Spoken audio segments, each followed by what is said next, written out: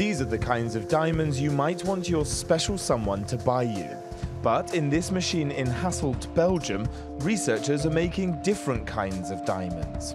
They're synthetic, and their creators say they're the smallest in the world. But that's not the only amazing thing about them. Basically, nanodiamond or diamond contains practically only carbon atoms. The purity is basically amazing. It's, uh, well, let's say 10,000 times better than any natural stone. These nanodiamonds aren't visible to the naked eye. They're 100,000 times smaller than the width of a human hair.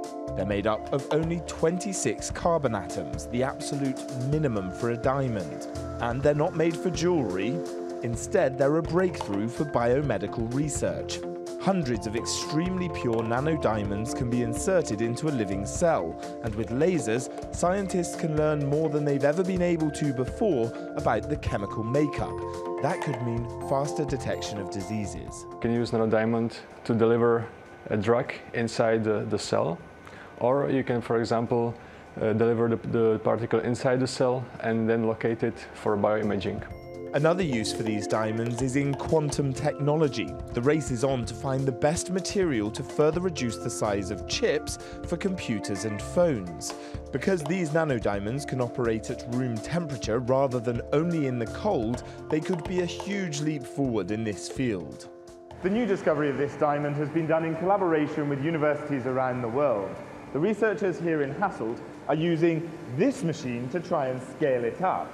Firstly, for research reasons, and then later on perhaps for commercial ones.